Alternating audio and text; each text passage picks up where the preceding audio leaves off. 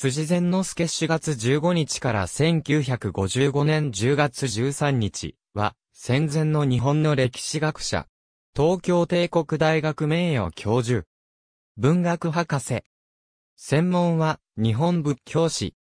仏教史研究から日本人の精神と日本文化の形成を探求し、実証主義的研究を貫き、日本史学の発展に寄与。兵庫県出身。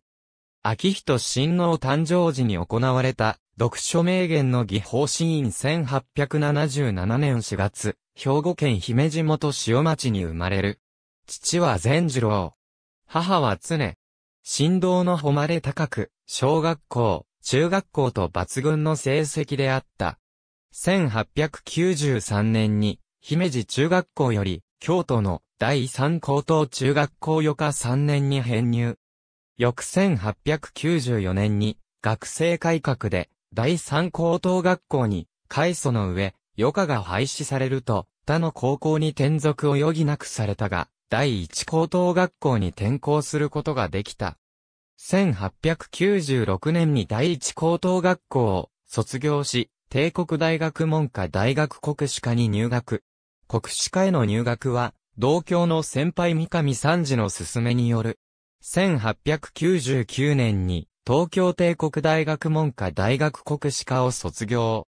卒業の際、恩師の銀時計を受ける。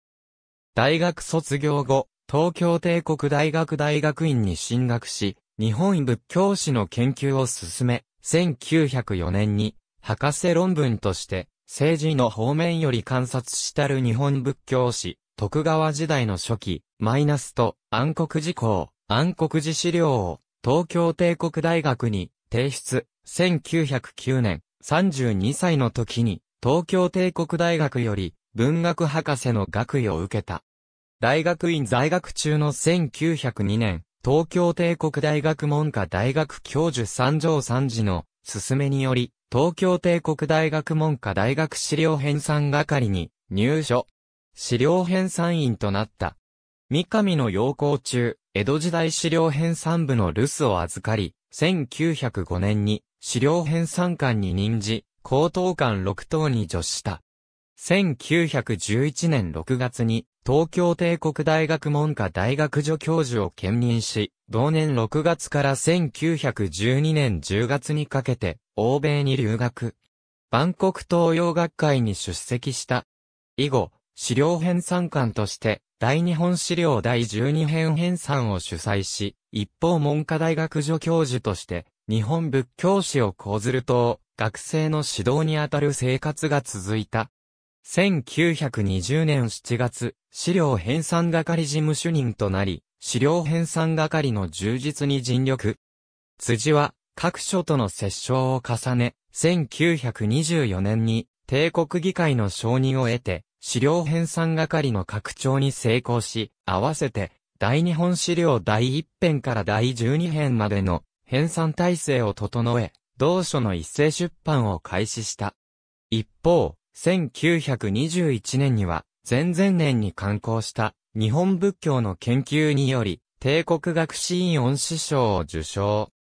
1923年には、東京帝国大学教授に就任して、国史学第二講座を担任し、1926年には、三上三次の定年退官を受けて、東京帝国大学教授兼資料編纂官に就任。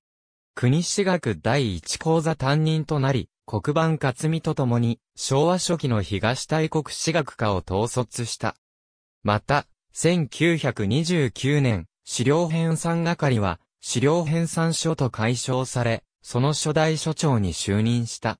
1938年、東京帝国大学教授を定年退官。東京帝国大学名誉教授の称号が贈られた。その後、1941年まで資料編纂書の嘱託して資料編纂に携わる一方、精神女子学院専門学校教授や立正大学文学部教授を歴任。1952年に文化勲章を受章。1954年には昭和28年度朝日文化賞を受けた。1955年10月に78歳で没。その他の活動を記すと、1900年に文部省より歴史材料取り調べを嘱託され、1922年には古社寺保存会委員、1924年には臨時五歴代史実交際委員会委員、京都御所東山五分小取調べ係となり、1929年には国宝保存会委員、1932年には帝国学士委員会委員となり、紀元2600年記念事業として企画した歴代新刊の修正出版の中心となって推進した。